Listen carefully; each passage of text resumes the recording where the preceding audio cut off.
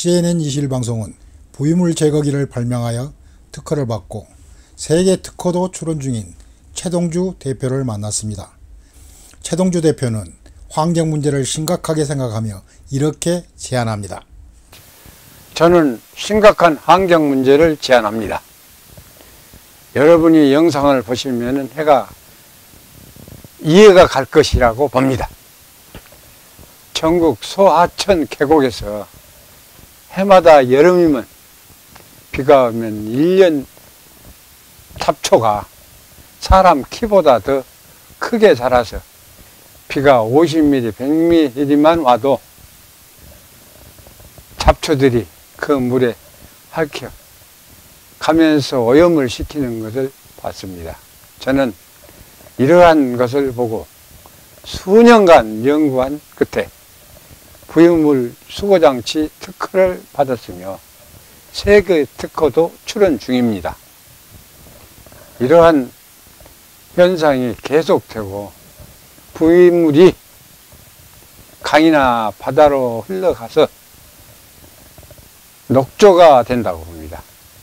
이러한 녹조를 제거한 것에 우리들의 세금이 많이 들어가고 있는 실정입니다. 제가 연구한 것은 이렇게 녹조 제거와 지금 냇가에 물속에 들어 묻혀서 군락을 이루고 있는 것도 포함됩니다.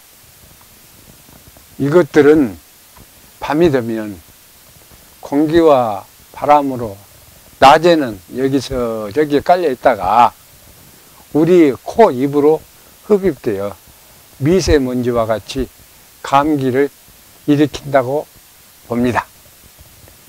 지금 환경 문제는 가장 폐수와 가정 폐수와 축산물의 폐수, 공장 폐수 이런 것들은 대학에서 연구를 많이 하고 있으나 이렇게 생각한 부유물은 연구를 하는 사람이 적다고 봅니다.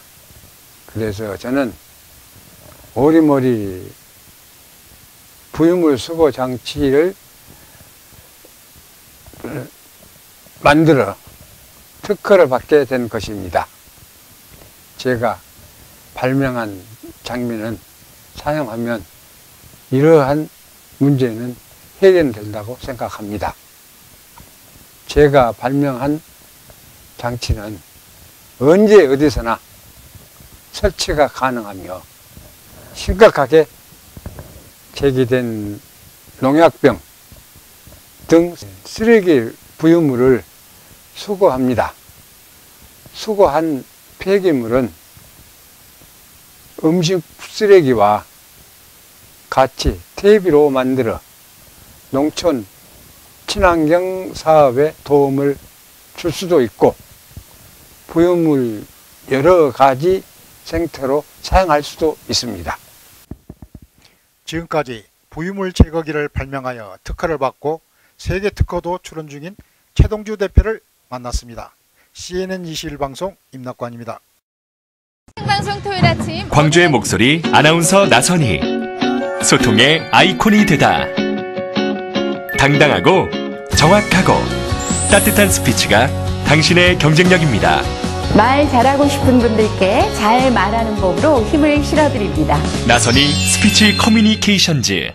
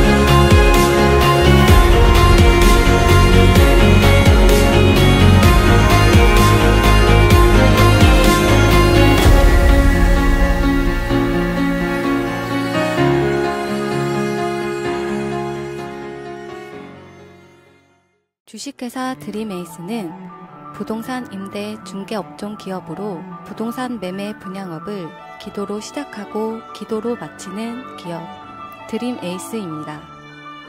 부동산 중개업의 선두주자 드림에이스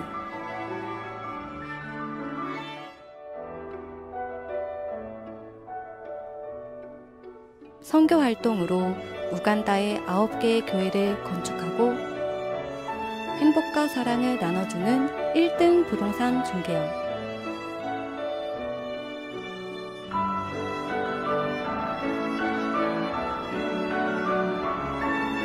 꿈을 꾸면 이루어진다는 신념으로 일하는 드림에이스.